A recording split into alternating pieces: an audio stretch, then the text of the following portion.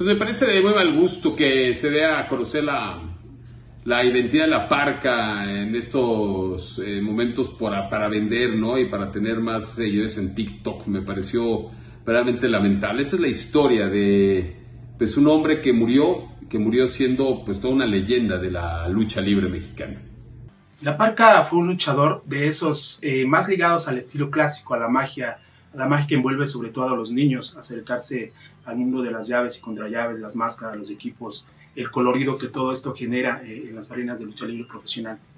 Tal vez no era el más dotado técnicamente ni más poderoso, pero sí tenía un carisma que no se consigue tan fácil, capaz de llenar durante varias semanas, durante varios días consecutivos, quizá años, eh, las arenas donde se presentaba su nombre en la cartelera significaba un lleno.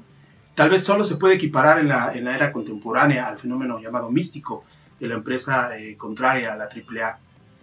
AAA justo se mantuvo o logró sostenerse después de su primer cisma, eh, su primer problema con luchadores, gracias a la aparición de este personaje.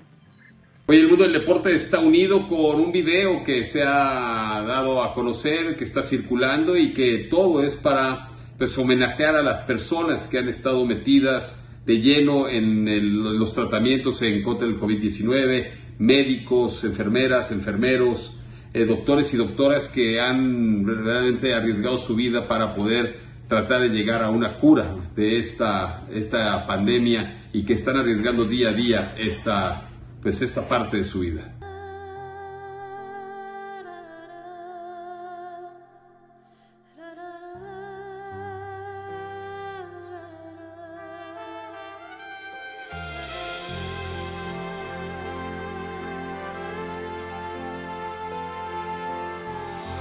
Llevo en la sangre la pasión de mil guerreros. De mil guerreros. Tengo una historia. Tengo una historia. Y la cultura de mi pueblo.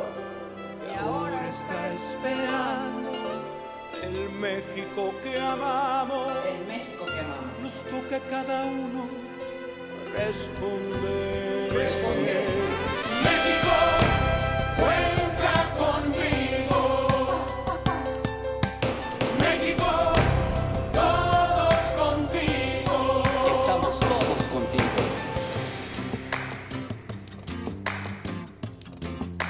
México necesita de todos. Vamos a poner nuestro granito de arena. Que sienta que no está solo. En tiempos difíciles hemos sabido salir siempre adelante. Hoy no será la excepción. México, cuenta conmigo. México, cuenta conmigo. México, todos contigo. Siempre para ti. En el campo, En el campo o en cualquier ciudad. Todo cuenta. Vamos a ayudar.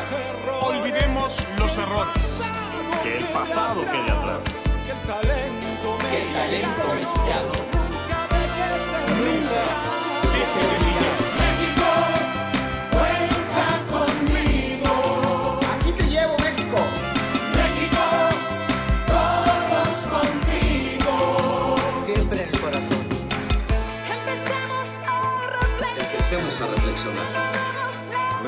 la mentalidad.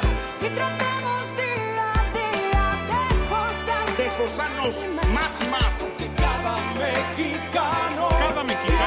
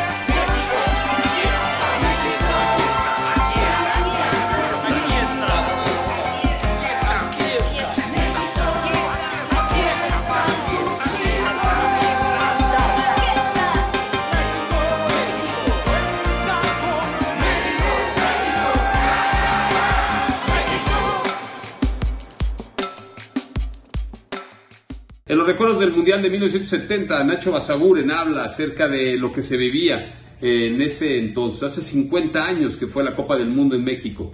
México ya después de un día como hoy había jugado su primer partido y había hecho contra la Unión de Repúblicas Socialistas Soviéticas y realmente había dejado pues ese amargo 0 a 0 en el principio del Mundial de 1970.